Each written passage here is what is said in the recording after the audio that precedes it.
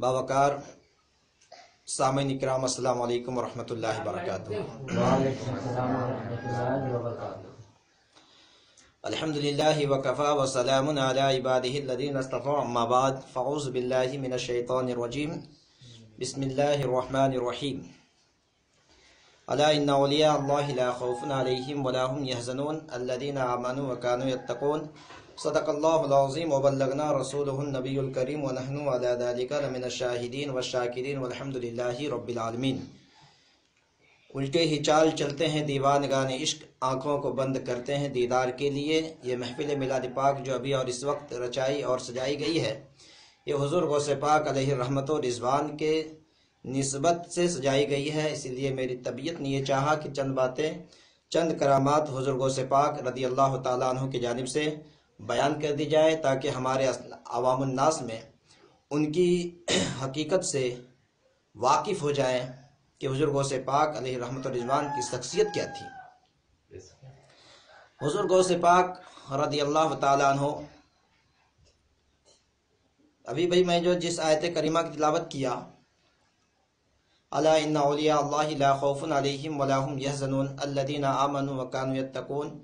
جس کا سیدھا سادہ ترجمہ یہ ہے کہ اللہ کے ولیوں کو نہ کوئی ڈر ہے اور نہ کوئی خوف. اور میرے حضور غوث پاک رضی اللہ تعالیٰ عنہ پیدائشی ولی تھے. اللہ تبارک و تعالیٰ نے آپ کو ماں کی شکم میں ہی ولایت کا درجہ عطا فرما دیا تھا. آپ نے اپنی ماں کی شکم میں رہ کر کے اپنی والدہ کی حفاظت کی اور آپ پیدا ہوتے ہی رمضان المبارک کا قدر کیا۔ رمضان المبارک کے مہینے کی قدر کی یعنی کہ آپ نے روزہ رکھا۔ اور آپ رضی اللہ تعالیٰ عنہ سے بہت ساری کرامتیں بچپن میں ہی صادر ہوئی۔ ایک مرتبہ کا واقعہ ہے کہ آپ رضی اللہ تعالیٰ عنہ روایت میں آتا ہے کہ آپ رضی اللہ تعالیٰ عنہ اپنی ماں کی شکم میں ہی اٹھارہ پارہ کے حافظ قرآن بن گئے تھے۔ اس کی تفصیل یہ ہے کہ میری، میرے حضور غوث پاک رضی اللہ تعالیٰ عنہ عنہ کی جو ہے والدہ محترمہ اٹھارہ پارہ کی حافظ قرآن تھی۔ اور جب حضور غوث پاک رضی اللہ تعالیٰ عنہ شکم مبارک میں موجود تھے، اسی عالم میں یعنی کہ حاملہ تھی، اس وقت آپ روزانہ اٹھارہ پارہ کی تلاوت کیا کرتی تھی۔ اور حضور غوث پاک علیہ رحمت و رضوان نے اس تلاوت کلام پاک کو سن کر یاد کر لیا تھا۔ آپ رضی اللہ تعالیٰ عنہ کی ایک کرامت یہ بھی ہے کہ آپ کا عمر شریف جو ہے چھ سال کے تھا۔ چھ سال کے وقت میں اکثر بچے کھیلنے کودنے میں منہمک رہا کرتے ہیں۔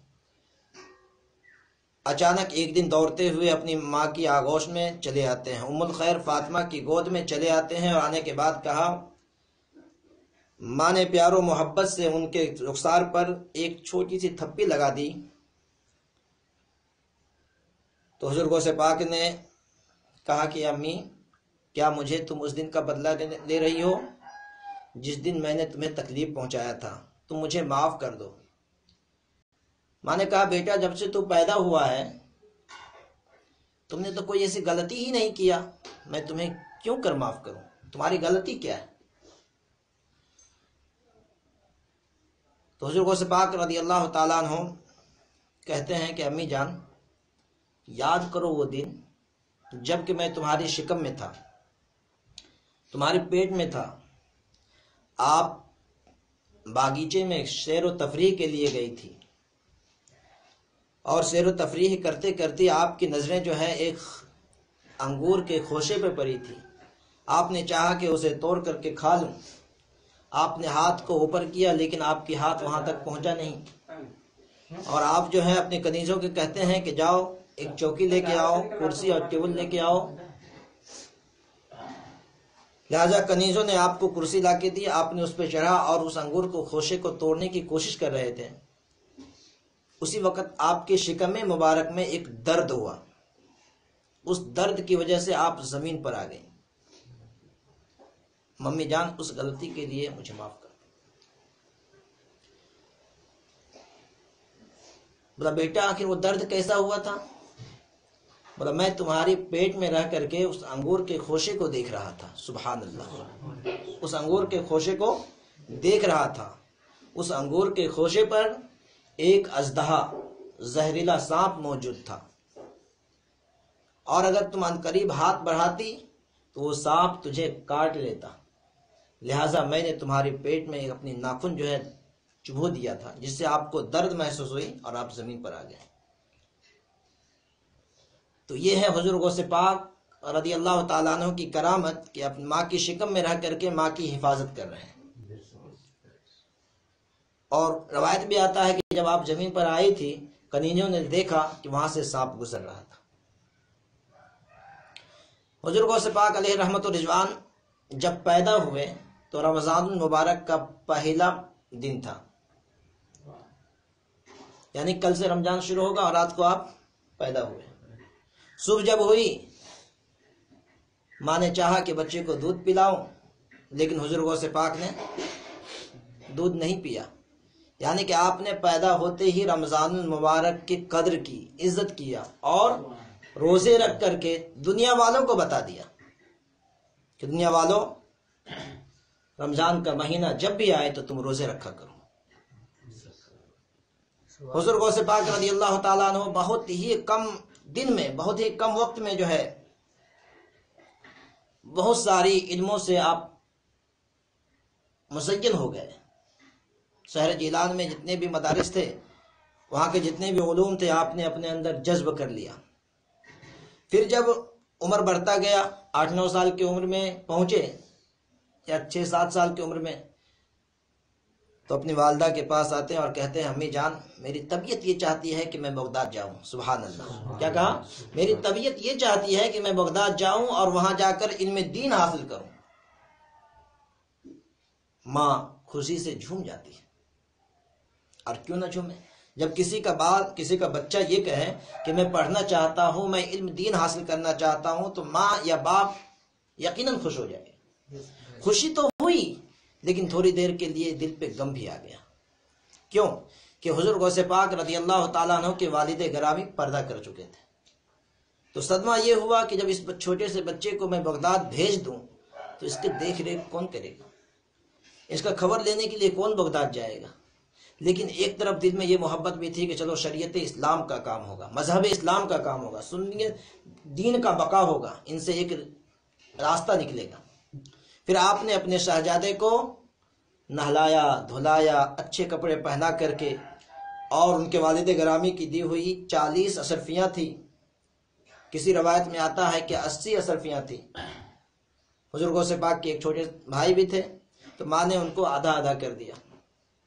چالیس اشرفیاں لے کر کے بزرگوں سے پاک کے بغل کے کسی حصے میں سلائی کر دی اور کہا، قافلے والوں کے حوالے کر دیا۔ اس زمانے میں کوئی بھی سفر کے لیے کوئی گاڑی گھوڑا نہیں تھا۔ لوگ پیدل ہی سفر کیا کرتے تھے۔ تو ایسے مرحلات پر جب آپ سفر کرنے کے لیے چلے، قافلے والوں کو ساتھ آپ کی والدہ نے ان کو ہمراہ کر دیا اور کرنے کے بعد کہا، بیٹا، جیسی بھی مصیبت آئے، جیسی بھی پریشانیاں ہو تم ہمیشہ ہمیشہ سچ بولنا۔ ہمیشہ جو ہے سچ بولنا۔ لہٰذا حضور غوث پاک رضی اللہ تعالیٰ عنہ اپنی ماں کی اس نصیحت کو اپنے گیٹری میں باندھ لیے کہ جتنی بھی مصیبتیں آئے گی، جتنی بھی پریشانیاں ہوں گی، انشاءاللہ تعالیٰ میں سچ ہی بولوں گا۔ پیدل سر چل رہے تھے، چلتے چلتے جب کافی دور نکل گئے، جنگل کا راستہ آیا تو جنگل کے راستے میں پہلے زمانے میں ڈاکو وغیرہ بہت نکلتے تھے۔ تو وہاں نے قافلے والوں پہ حملہ کر دیا اور تمام کے مال و اسباب کو چھین لیا۔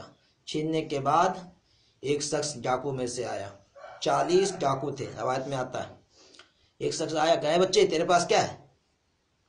کہا، میرے پاس چالیس اشرفی ہیں۔ سبحان اللہ۔ کیا کہا؟ چالیس اشرفیاں ہیں۔ اس انسان نے کہا، یہ بچہ مذاق کر رہا بھلا کسی کے پاس چالیس اشرفی رہے تو وہ چھپائے گا بول دے گا۔ مذاق سمجھ کے اس کو چھوڑ دیا۔ دوسرا آیا، پھر پوچھا، مذاق سمجھ کے چھوڑ دیا۔ تیسرا آیا، پھر بتاتے ہیں صحیح بات تو نہیں مانا۔ اب سبھی کا مال و اسباب لوٹنے کے بعد سارے لوگ جو ہے پہنچ گئے اپنے بادشاہ یعنی کہ ڈاکو کے سردار کے پاس۔ وہاں پہ سب مال و اسباب کو وہ تقسیم کر رہا آپس میں۔ تو کسی نے کہہ دیا، جانتے ہو، اس قافلہ میں ایک چھوٹا سا بچہ تھا، میں نے اس سے پوچھا، تمہارے پاس کیا ہے؟ تو اس نے کہا کہ میرے پاس چالیس اشرفی ہے میں نے مذاق سمجھ کو اس کو چھوڑ دیا۔ دوسرے نے کہا، ارے، میں بھی تو گیا تھا، مجھے بھی یہ کہا۔ تیسرا نے کہا، میں بھی تو گیا تھا، مجھے بھی یہی جواب دیا۔ تو ڈاکو کا جو سردار تھا، اس نے کہا اچھا ایسا کرو، جاؤ اس بچے کو پکڑ کر لیا اب ڈاکو کے سردار کے حکم کے مطابق سارے لوگ آئے اور اس بچے کو اٹھا کر کے لے گئے۔ ڈاکو کے سردار نے کہا کہ بچے، بتاؤ تمہارے پاس اور کیا ہے؟ کہا، میرے پاس چالیس اشرفیاں ہیں، میں کتنی مرتبہ کہہ چکا ہوں۔ بارمبار کہتا ہوں آپ مانتے کیوں نہیں؟ تلاشی لو۔ جب تلاشی لی گئی تو کہیں نظر نہیں آئے؟ یہ بھی اللہ کی کرشمہ حضور کو سبا کی کرامت۔ تو کہا، بچے، نکال کے دکھا دو۔ آپ اپنے ہاتھ سے جہاں پہ رکھا ہوا نکال کے بکھیر دیتے ہیں۔ ڈاکو کا سردار حیران ہو جاتا ہے۔ چالیس اشرفی بہت قیمتی چیز ہے اس زمانے میں۔ کہا، بچے، یہ بتاؤ کہ تم نے اتنی چھپی ہوئی چیز کو کیوں بتا دیے؟ اگر تم چاہتے تو اس کو چھپا کر کے رکھ لیتے۔ چاہتے تو اس کو بچا لیتے لیکن تم نے کھلے عام ہم لوگوں کے سامنے جبکہ تم جانتے ہو کہ ہم بہت خطرناک لوگ ہیں بہت خطرناک ڈاکو ہیں لوگوں کو مار دیتے ہیں کاٹ دیتے ہیں پھر بھی تم نے بتا دیا مجھے کہا کیا کرتا؟ جب میں گھر سے چلا تھا تو میری والدہ نے نصیحت کی تھی کہ بیٹا جیسی بھی مصیبتیں آئے گی جیسی بھی پریشانی آئے تم ہمیشہ سچ بولنا سبحان اللہ۔ اتنا سننا تھا کہ ڈاکو کے سردار کے آنکھوں سے آنسو جاری ہو۔ زارو قطار رونے لگا اور کہا کہ اے بچے، تم اتنا وفادار ہو کہ اپنی ماں کی ایک وعدہ کی ہوئی نصیحت کو تم نے ہمیشہ اپنے گٹھے میں باندھ کے رکھا اور ہم اتنے نالائق ہیں کہ اللہ کی دن رات نافرمانی کرتے ہیں، لوگوں کا مال چھینتے ہیں، لوٹ مار کرتے ہیں، پھر بھی ہمیں ذرہ برابر بھی غیرت نہیں آتی۔ ہے بچے، میں تمہارے ہاتھ پر یعنی آپ کے ہاتھ پر توبہ کرتا ہوں اور ایک پکا مسلمان بننا چاہتا ہوں۔ سبحان اللہ۔ روایت میں آتا ہے کہ ڈاکو کے سردار جو ہے توبہ کیا اور ایک پکا مسلمان بنا اور ساتھ ہی ساتھ ان کے جتنے بھی چالیس، انچالیس آدمی تھے کام کرنے والے، سب نے کہا کہ اے میرے سردار، جب آپ ڈاکہ زنی کرنے میں ہمارے سردار تھے تو آج توبہ کرنے میں بھی ہمارے آپ سردار ہیں۔ آپ کے پیچھے پیچھے ہم بھی توبہ کر کے پکا مسلمان بنتے ہیں۔ تو سچ میں کتنی برکت ہے؟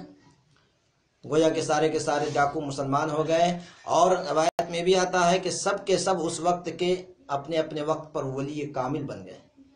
تو یہ حضور گو سے پاک کی بچپن کی ایک کرامت ہے، جو کہ آپ نے بچپن میں چالیس انسان کو، کسی روایت میں آتا ہے ساٹھ انسان کو، آپ نے راہ مستقیم پر اپنی حق گوئی کی بنیاد پر راہ مستقیم پر چلنے والا بنا دیا۔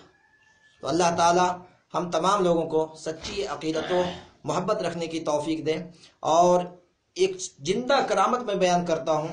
حضور غوث پاک کی حوالے سے درود پاک پڑھی اللہم صلی علی سیدنا و مولانا محمد طب القلوب و دوائها و عافیت الابدان و شفائها و نور الابصار و ضیائها و آلہ و صحبہ دائما آبدا آپ ہی کے ورثے کی بات ہے۔ اس سے پہلے میں جہاں پہ امامت کا کام دے رہا تھا۔ ایک جناب بھائی جان ہے الطاف بھائی، ان کا نام ہے۔ انہوں نے کاشتکار ہیں، کھیتی کرتے ہیں۔ انہوں نے ایک مرتبہ ارادہ کیا کہ اگر اس مرتبہ میرا دھان اچھا نکلے گا کھیت سے اچھا فصل ہوگا، تو میں حضور گو سے پاک کے لیے، کے نام پر بریانی بنا کر کے لوگوں کو کھانا کھلاؤں گا۔ سبحان اللہ۔ کیا کہا؟ بریانی بناؤں گا اور لوگوں کو کھانا کھلاؤں گا۔ الحمدللہ، نیت اچھی تھی۔ اللہ تعالیٰ جم کے دھان بھی دے دیا۔ بہت برکتیں ہوئی بولتے جس ہمیشہ جس جتنا ہوتا تھا اس سے دو گنا تین گنا زیادہ ہوا۔ لیکن اپنے نیت کے بنیاد پر نیت تو کر لیا تھا، لیکن بھول گئے۔ جب گیارہویں شریف کا موسم آیا، آپ بھول گئے۔ تو بھولنے کے بعد اپنی والدہ کو کہا کہ دھان کو حسن دو، کیونکہ ہر سال